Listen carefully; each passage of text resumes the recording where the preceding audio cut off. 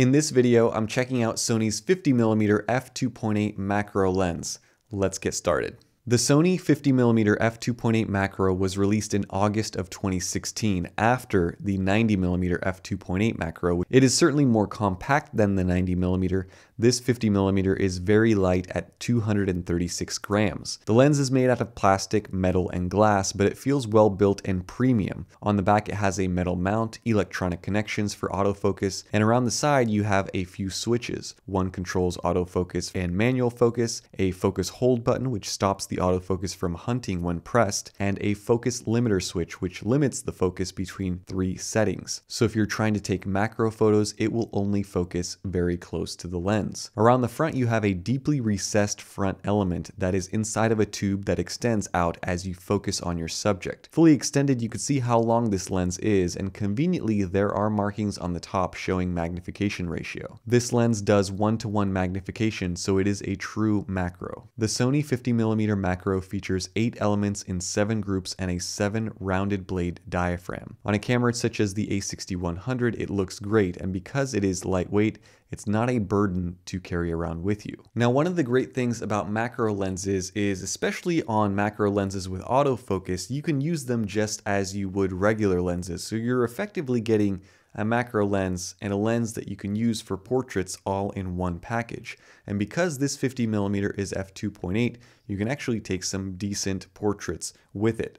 So anyway, let's jump into some samples. The majority of these were actually taken on my Sony a7C, a full frame camera, just because I was testing this lens and I was testing that camera in particular. But I actually think that this lens is even better suited for an APS-C size sensor camera, such as the A6100 that I have it on right here. Anyway, let's take a look at the samples.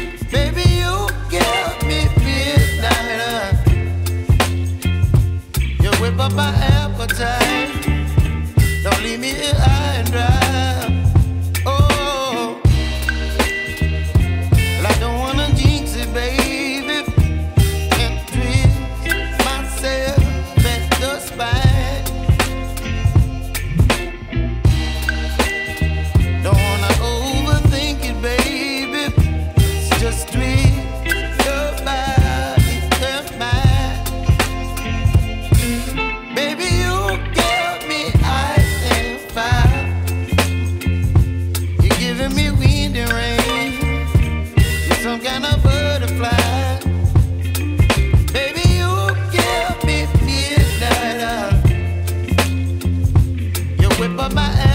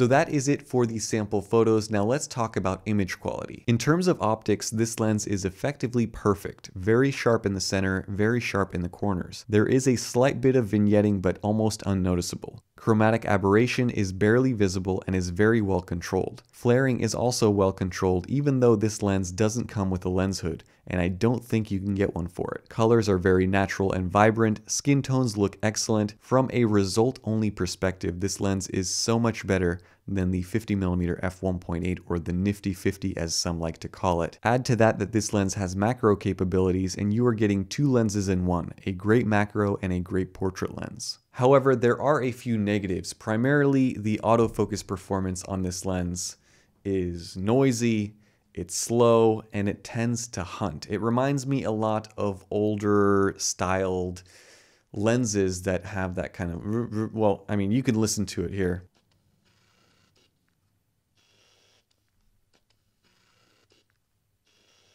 If you leave the focus limiter switch in the full position, this lens will hunt all the way through the focus. So from very close up to infinity and back. And it will do that in between each and every shot.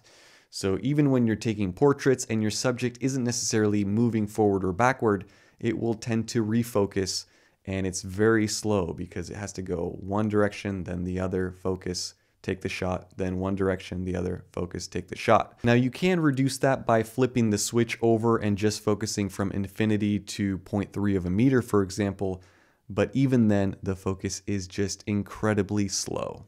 You can use manual focus, but even when you do, the focus ring is just way too precise. It takes way too many turns to rack focus, so you end up spending a lot of time rotating the focus ring trying to get it right. So for video work, between the noisy and the slow autofocus and the too precise manual focus, this lens isn't great.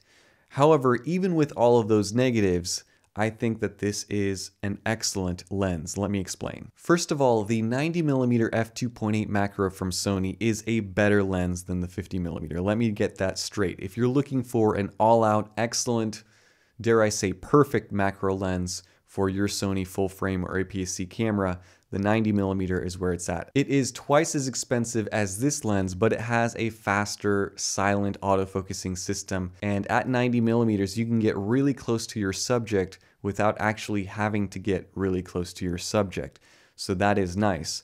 However, for APS-C shooters, I think that this 50mm f2.8 makes a whole lot of sense, even given the fact that the autofocus performance is pretty mediocre. Right now in the Sony mirrorless lineup, you have effectively three lenses that you can buy that are macros for your APS-C or full frame camera. You have the Sony 30mm f3.5, you have this 50mm f2.8 macro, and then you have the 90mm f2.8 that I just mentioned. The 30mm f3.5 is a decent lens for APS-C cameras, but the problem with that lens is similar to the problem with this 50 millimeter on a full frame, and that is you have to get really close for macro stuff. And if you put this 50 millimeter on an APS-C size sensored camera, then you get effectively a 75 millimeter field of view, which is much easier for insect photography, food photography, and beyond. And the 50 millimeter macro is just as compact or almost just as compact as the 30 millimeter and only about twice the price. You could find it for much less used though, so there are bargains out there. So if you are wanting a perfect macro lens in your life, then get the 90mm f2.8 from Sony. It's still one of my favorite full frame Sony lenses. But if you are okay with spending half the money and you're okay with compromising on the slow and hunting autofocus performance, then this is a stellar lens and a bit of a hidden gem. So that is going to be it for my review of the 50mm f2.8 macro from Sony. I hope you guys enjoyed it and learned something. As always, if you guys are interested in picking up this lens, reading specs, uh, getting prices, check out the links down in the description below. Stay tuned for more. Thank you guys so much for all of your support, all of your likes, and your comments. Have a nice day. Bye-bye.